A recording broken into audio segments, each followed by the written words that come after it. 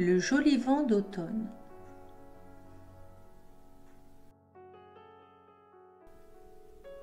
Le joli vent d'automne déshabille lentement les arbres alentours.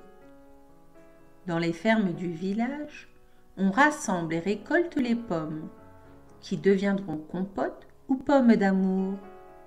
Des recettes issues du Moyen Âge, ou plus loin encore, où commencent les hommes, ou ce qu'ils deviendront un jour s'il n'y avait pas eu autant de carnage.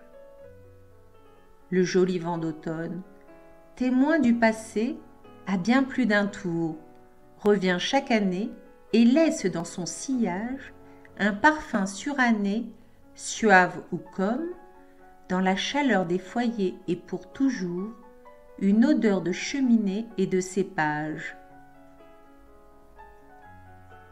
Le joli vent d'automne annonce l'hiver et ses jours plus courts, le chant clos des oiseaux sur l'arbre au nu ramage.